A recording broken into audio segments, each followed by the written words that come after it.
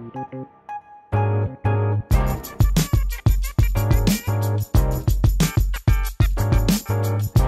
ben, bonsoir à tous. Moi, c'est Mélissa Saïd. Je suis étudiante en thèse euh, à l'Institut Cochin, qui est un institut de recherche biomédicale qui est situé sur le site de l'hôpital Cochin, euh, vers Port-Royal, dans le 14e. Et euh, aujourd'hui, Pauline, pourquoi t'es habillée comme ça? Bah, Tu as dit qu'on faisait de la science bah oui, mais on fait de la science, mais on a dit qu'aujourd'hui on devait paraître accessible, ne pas arriver comme si on était des savants fous. Non mais je, vais te laisser te déshabiller. Faites pas attention, euh, au bout d'un certain temps, ça fait quand même plus d'une dizaine d'années qu'elle fait de la science, euh, il y a certains neurones qui euh, crament. Donc la raison pour laquelle elle est comme ça, c'est qu'on travaille sur le VIH, qui est le virus de l'immunodéficience humaine, qui cause la maladie du sida, dont vous avez sans doute déjà entendu parler. Et elle est habillée comme ça, puisque ce pathogène, on le manipule dans des laboratoires de confinement de niveau 3, dans lesquels on a deux paires de gants, une surblouse pour protéger des projections qui est imperméable, une charlotte et des lunettes que Pauline a déjà enlevées, un masque, même si maintenant on en porte tous, ou quasiment plus, mais en tout cas euh, vous connaissez le masque chirurgical classique, et surtout des surchaussures hyper glamour. Et là-dessous, il fait vraiment très très chaud. Donc euh, voilà, Pauline euh, sans euh, son accoutrement de, L3. Et donc Pauline, je vais te laisser te présenter. Donc moi c'est Pauline.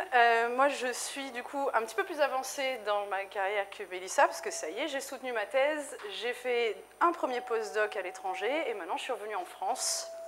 Et moi j'aime beaucoup travailler avec les virus. Je les trouve fascinants. Mais du coup, Mélissa et moi, on a des parcours très très différents, mais on bosse sur la même chose, on bosse en biologie. Mais c'est quoi le vivant? Comment on définit le vivant? En fait, la définition du vivant, elle n'arrête pas de changer. On en a en fait plusieurs.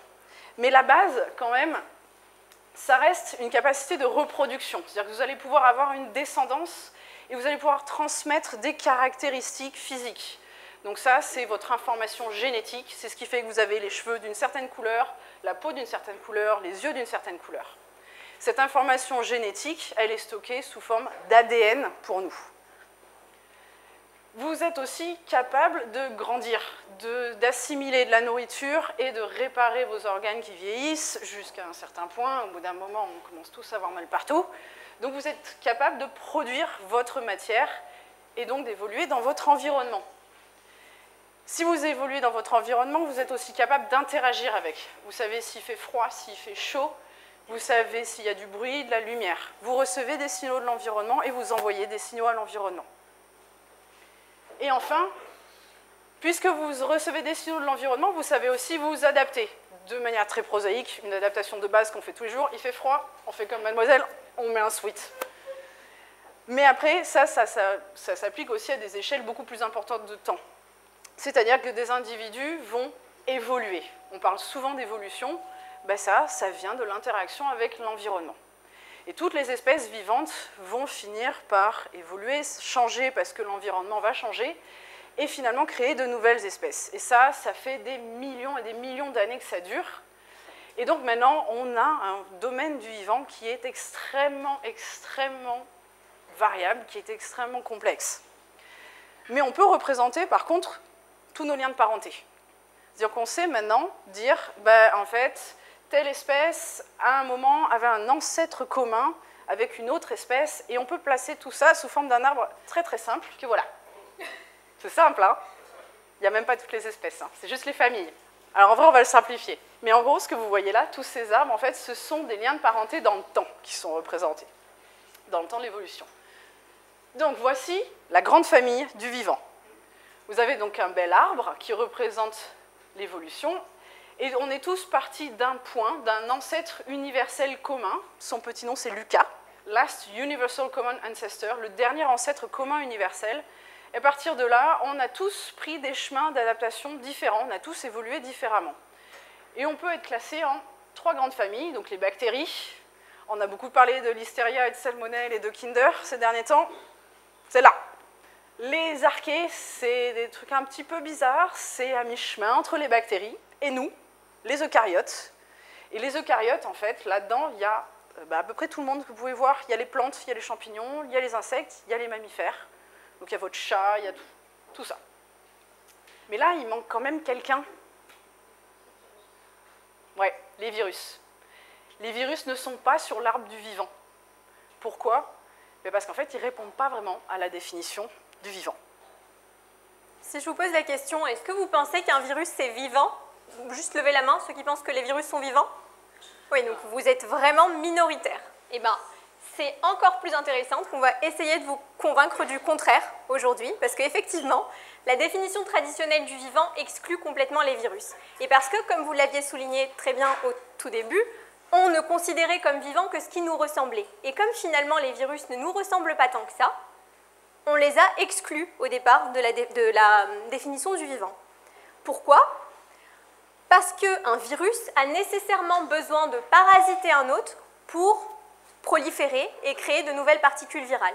Donc il n'a pas de capacité à produire de la matière propre. Un autre, c'est euh, une cellule de l'organisme. Par exemple, dans notre cas, vu qu'on travaille sur le VIH, c'est l'ensemble des cellules du système immunitaire. Mais un virus, c'est quoi? C'est aussi une information génétique, comme nous, sous forme d'ARN ou d'ADN, en fonction des familles virales. Et cette information est susceptible d'évoluer. C'est vraiment un moteur euh, de l'évolution des différentes espèces euh, de virus. Et elle est aussi le fruit d'une interaction permanente entre nous, les cellules qui l'infectent, et le virus en lui-même. La caractéristique des virus qui euh, les différencie de nos cellules et qui, euh, de prime abord, nous amènerait à dire que les virus ne sont pas vivants, c'est qu'ils n'ont pas de métabolisme propre, donc ils ne sont pas capables de produire leur propre énergie. Mais là, vous me direz, pourquoi mettre en point une nouvelle méthode ou conserver une méthode de production d'énergie quand on peut tout simplement utiliser celle qui est déjà en place dans d'autres modèles?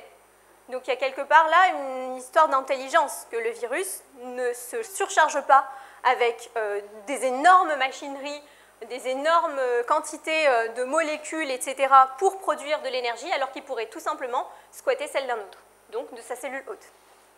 Du coup, si on voulait euh, vraiment replacer le virus dans euh, l'ensemble des organismes que l'on connaît, de l'atome jusqu'à l'organisme complet, là encore c'est très anthropocentriste, hein, on voit bien que c'est bien l'homme euh, qui est représenté à la fin, à quelle étape placeriez-vous le virus?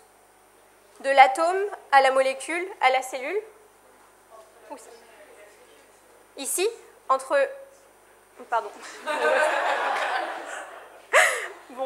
Oublie. C'est ici que vous l'auriez placé Non, là? Bon, bah, très bien, parfait.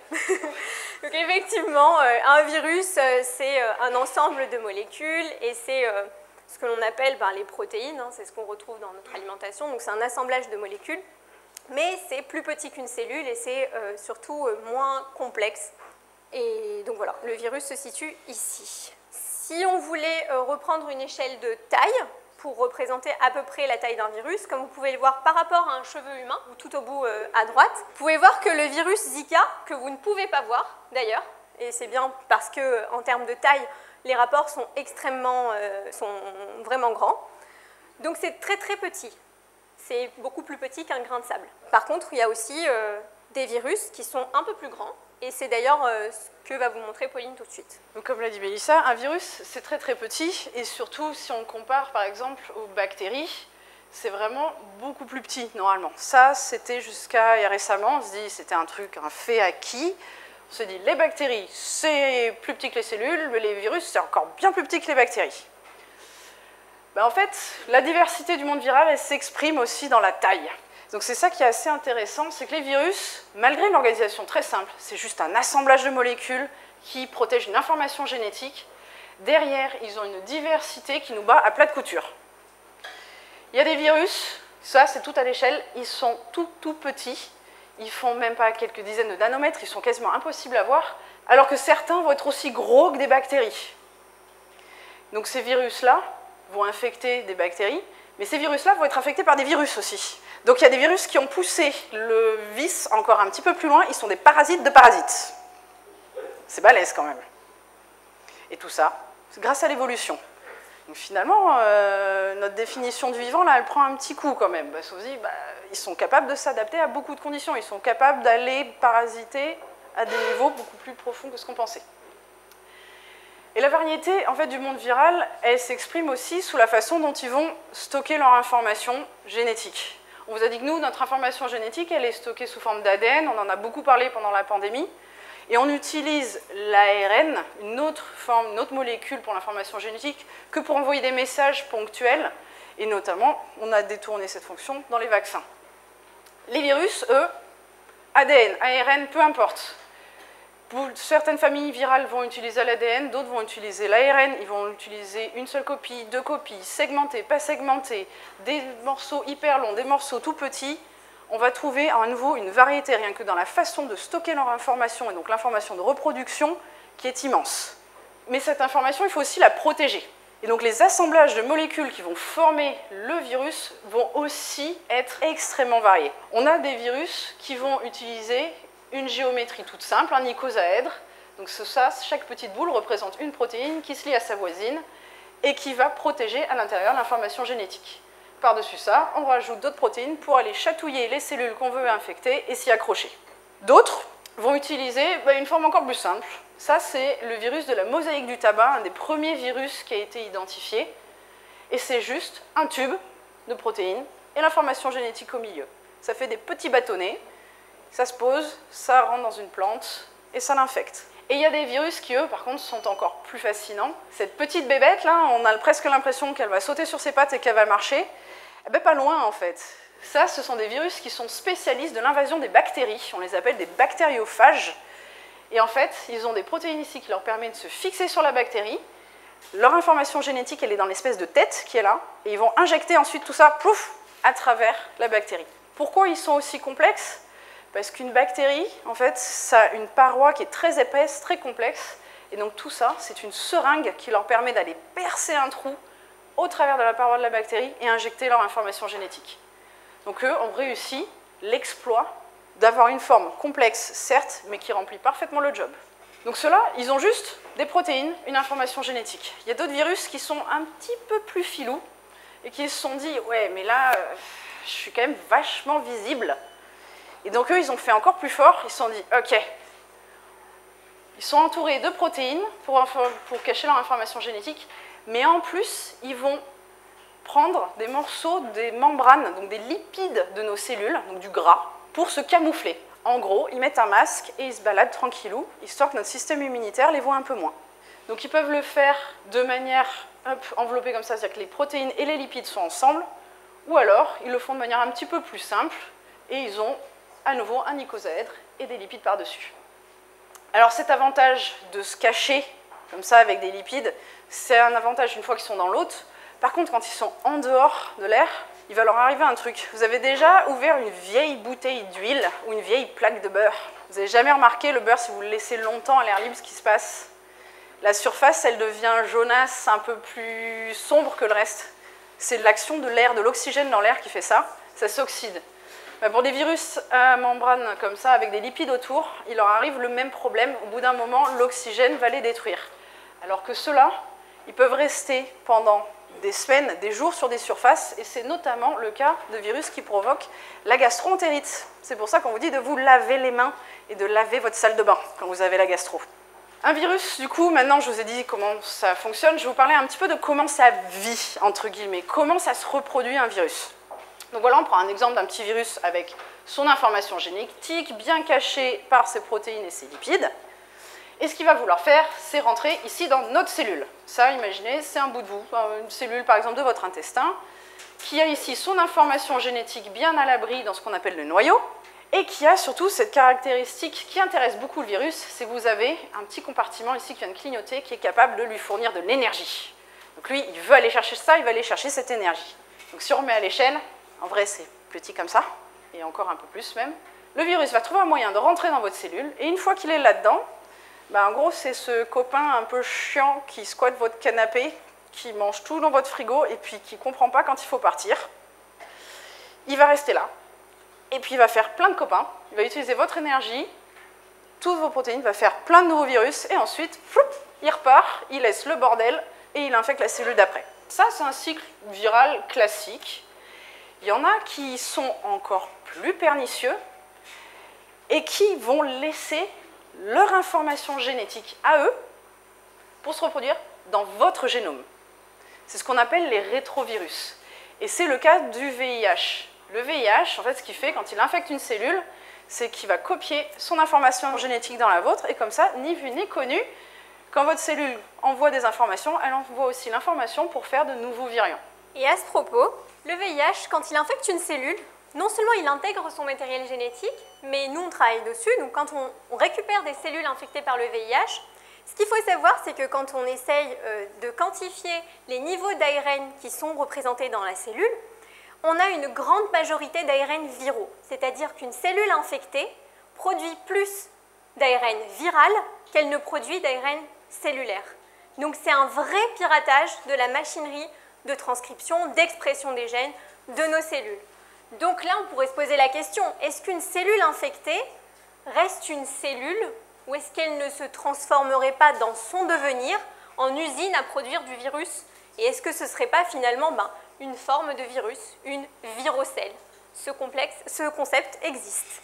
Et donc le VIH n'est pas le seul euh, virus capable d'intégrer son information génétique dans la nôtre, c'est le cas de tous les rétrovirus, comme vous l'a dit Pauline tout à l'heure. Et ces rétrovirus, certains ont été moteurs dans l'évolution. Et euh, juste pour la petite anecdote, c'est l'une des raisons pour laquelle j'ai voulu faire de la virologie. C'est quand j'ai appris que finalement, le gène qui permet la fusion des cellules et la formation du placenta, donc qui code pour la protéine qui est la syncytine. Donc sans syncytine, on ne peut pas avoir de placenta et donc pas de mammifère. Et finalement, un héritage d'un virus. C'est un rétrovirus qui s'est intégré dans nos cellules et qui a donc laissé son information, qui a permis de produire cette fameuse protéine syncytine et ainsi de donner lieu à l'apparition des mammifères. Donc c'est euh, un processus de constante évolution entre la cellule infectée et le virus. Et cette évolution peut prendre énormément de temps. Donc en général, quand on est habitué à certaines interactions, quand on a des amis de longue date, on est habitué, on les comprend, et c'est un peu ce qui se passe entre nos cellules et certains virus avec lesquels on vit très bien, comme le virus qui donne la mononucléose, on l'a tous eu, et pourtant, notre système immunitaire le tolère, tout va bien, euh, les adénovirus, pour la plupart, c'est la même chose, ils sont tolérés parce que finalement, on a coévolué ensemble, et euh, on ne les voit pas tellement comme euh, des dangers ou des menaces. Mais cette évolution peut prendre énormément de temps, et dans certains cas, la réponse de l'autre peut être un petit peu violente. Et c'est d'ailleurs ce dont on reparlera un peu plus tard quand on parlera de pandémie, particulièrement de l'infection par le SARS-CoV-2. Dans d'autres cas, le virus rentre dans la cellule et puis il a tellement envie d'y rester et de proliférer qu'il va rendre cette cellule immortelle. C'est le cas de tous les virus oncogènes. Oncogène, ça veut dire qui est capable de euh, rendre la cellule cancéreuse. C'est le cas des papillomavirus ou encore de pas mal de virus d'hépatite. Donc le papillomavirus, c'est un virus qui euh, cause le cancer du col de l'utérus. Et euh, le virus a tellement envie de proliférer qu'il a envie que son usine ben, devienne immortelle et ne meure jamais. Et donc c'est le processus de développement d'un cancer, c'est quand la cellule arrête, ne meurt plus, donc elle ne fait que produire du virus et se multiplier. Mais comme je vous l'ai dit juste avant, dans certains cas, on cohabite suffisamment bien avec les virus et tout se passe bien, mais parfois, il y a euh, des petits intrus et la première interaction de certains virus avec nos cellules est un petit peu maladroite. Donc nous, on ne comprend pas trop ce qui se passe, notre système immunitaire s'emballe, et là, c'est un peu la catastrophe. Parce que quand le système immunitaire s'emballe, eh bien, on va commencer à vouloir tout détruire, les cellules infectées, et parfois on fait des dommages collatéraux. Et donc on s'attaque à nos cellules, et c'est en général plus la réponse de l'hôte qui va être plus délétère que le virus en lui-même, qui finalement venait là euh, juste pour pirater la cellule, se reproduire et ressortir pour aller infecter euh, d'autres cellules. Donc c'est souvent la réponse de l'hôte qui finalement euh, nous conduit à certains virus qui causent des pandémies, comme celle du SARS-CoV-2. Donc on n'a pas besoin de l'introduire, la pandémie, ça fait plus de deux ans et quelques qu'on est en plein dedans. Et en fait, cette pandémie, donc elle a été révélatrice de beaucoup de choses. Je pense qu'on n'a pas le temps d'aborder tous les sujets, mais ce dont on voulait parler en fait aujourd'hui avec Mélissa, c'était quelque chose qui nous a toutes les deux beaucoup marqué, c'est qu'on s'est rendu compte euh, au tout début, surtout de la pandémie, que clairement, nous les scientifiques et le public, les journalistes, les hommes politiques, on ne parlait pas du tout le même langage et on ne se comprenait pas du tout. Et qu'il y avait un gros problème de communication, de compréhension de la culture scientifique et du discours scientifique. Ce qui a donné lieu à beaucoup de confusion. Et notamment, au tout début de la pandémie, la première confusion, c'était ça, le masque. Et le masque, c'est vraiment ce qui a cristallisé, je pense, toutes les tensions, toutes les incompréhensions durant la pandémie. Pourquoi est-ce qu'au début, on nous a dit, il n'y a pas besoin de porter des masques? Pourquoi ensuite, on nous a dit de porter des masques? Et se laver les mains et faire toutes ces consignes qui n'ont pas arrêté de changer En fait, nous, au début, quand j'ai vu ça, je dis, bah, bah, oui, c'est très simple en fait. C'est parce qu'au début, on pensait que ce virus était comme ça, et en fait, non. Et là, tout le monde me regarde et fait, quoi? Mais vous, vous avez changé d'avis en fait entre-temps? Je fais, ah non, en fait, on n'a pas changé d'avis. C'est que nous, on vous a présenté les informations et on réfléchit comme des scientifiques. Et ça, ça n'a pas été expliqué. Et ça, ça vient de la façon dont on fait notre travail tous les jours. On applique ce qu'on appelle la méthode scientifique. Peut-être que ça va titiller un petit peu des vieux souvenirs de lycée, je pense qu'on en parle. Et du coup, on va vous présenter comment la méthode scientifique a un petit peu semé la confusion. Donc la méthode scientifique, à la base, c'est poser une théorie. Donc pendant la pandémie, décembre 2019, un nouveau virus arrive, il commence à se répandre, c'est un coronavirus. Donc la théorie, ça a été de se dire, il va être comme tous les coronavirus, hein Melissa Du coup, comment il va se transmettre? Bah, par les grosses gouttelettes, euh, faut vraiment se cracher dessus. Voilà, genre, euh, faut que je t'éternue, euh, voilà. Ouais. Voilà, théorie. Un virus est nouveau, mais il appartient à une famille qu'on connaît déjà. Tous les membres de cette famille se transmettent d'une certaine façon par des grosses gouttelettes. Ok. Donc, a priori, il suffit juste d'être loin parce que les gouttelettes vont très vite tomber au sol, elles ne vont pas rester dans l'air. Ok, ça c'est la théorie, donc on va faire une prédiction. La prédiction, c'est qu'on n'a pas besoin de masque en fait. Il suffit juste de bien garder ses distances et de bien se laver les mains quand on touche une surface, de la désinfecter. Du coup, pour tester cette prédiction, il va falloir qu'on fasse une expérience. Alors là, oui, je vous arrête tout de suite, on n'a pas mis des gens dans une pièce, infecté un avec euh, le coronavirus, et ensuite on a regardé ce qui s'est passé. Non. Par contre, la pandémie, on a vu l'apparition des fameux clusters. Et on a pu analyser ce qui s'est passé. Et donc finalement, ce qui nous a le plus aidé dans notre démarche expérimentale grandeur nature, il n'y avait pas besoin de faire des expériences, de mettre des gens dans des pièces ou des souris ou je ne sais quel autre modèle, parce que ça se passait vraiment à grande échelle. Donc on avait des clusters, et finalement les réponses les plus pertinentes qui nous ont été données sont venues de l'épidémiologie.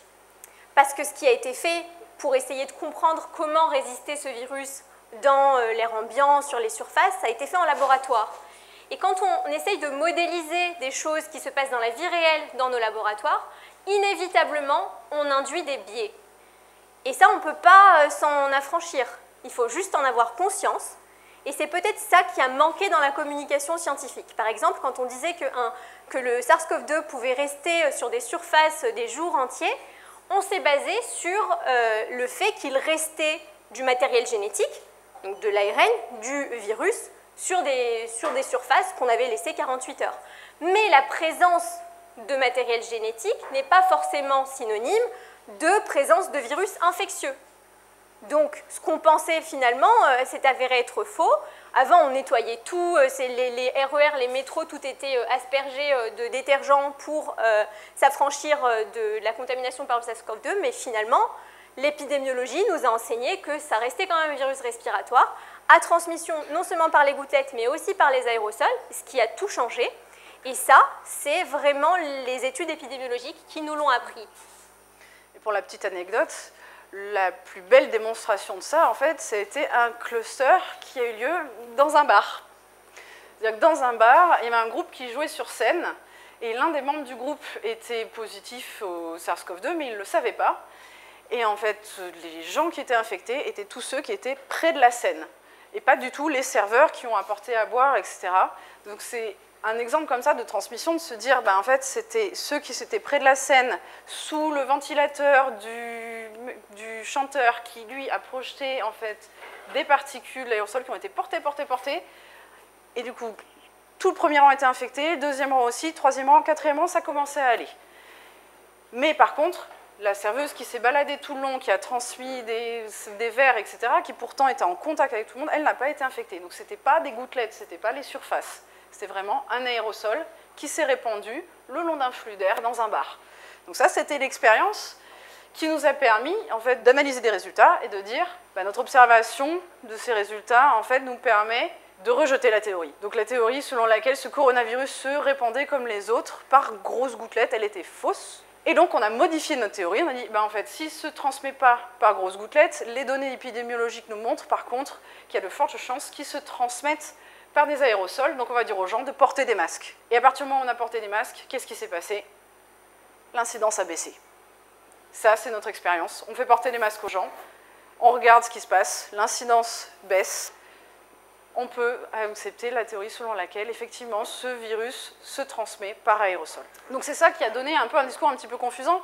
Et en plus, si on rajoute l'intermédiaire des journalistes et des politiques qui n'ont pas de culture scientifique, ça donne la gabegie qui a été la communication sur les gestes de protection et les fameux gestes barrières qui ont changé. On vous a dit vous tenir à 2 mètres, 1 mètre, euh, mettre un masque, vous lavez les mains, etc. On a continué à désinfecter les surfaces comme des maniaques pendant des mois, alors que finalement, ce n'était pas ça le plus utile. Le plus utile, c'était de dire aux gens, portez bien un masque, et surtout comment il faut le mettre pour ne pas infecter les autres et s'infecter soi-même. Donc on va arrêter un peu là notre discussion, parce que ce sujet-là, on pourrait en parler des heures. On s'est rendu compte qu'il y avait plein de problèmes sur la façon dont on communiquait avec vous, donc c'est pour ça qu'on est là ce soir aussi. N'hésitez pas à venir nous voir. N'hésitez pas aussi à venir voir notre laboratoire, parce que Mélissa, notamment, organise tous les ans la fête de la science. Donc euh, pendant un week-end, on ouvre les portes de l'institut et donc euh, il y a plein d'ateliers. Dans notre institut, on fait à la fois euh, de la virologie, du cancer et plein de. On travaille sur les maladies humaines de manière générale. Et il y a plein d'ateliers, donc n'hésitez pas à venir nous rendre visite. Cette année, ce sera la semaine du 7 au 17 octobre, et donc plutôt le samedi de cette semaine-là. Donc on est au 22 rue Méchin, euh, on vous attend avec grand plaisir et euh, la raison pour laquelle on est là aujourd'hui c'est aussi pour, euh, discuter, même si tout à l'heure il y avait un petit sondage qui a été fait, vous êtes une grande majorité de scientifiques donc on vous apprend rien en parlant de méthode scientifique, mais là on a bien vu que quand la science se faisait dans le feu de l'action, c'était assez compliqué d'expliquer que finalement l'évolution des concepts, ce n'était pas tellement des contradictions, mais juste ce qui se passe au quotidien dans nos laboratoires. Et si vous voulez mettre une super tenue pareil, venez à Cochin, on en a plein. Vous pourrez essayer ce que c'est que d'être ouais, on en a plein, mais il y a une crise de plastique quand même assez rude euh, depuis la pandémie. On en a plein, on en a plein, euh, on en a beaucoup manqué quand même. Mais ça va mieux. Les équipements de protection, c'était compliqué. Merci beaucoup pour votre attention.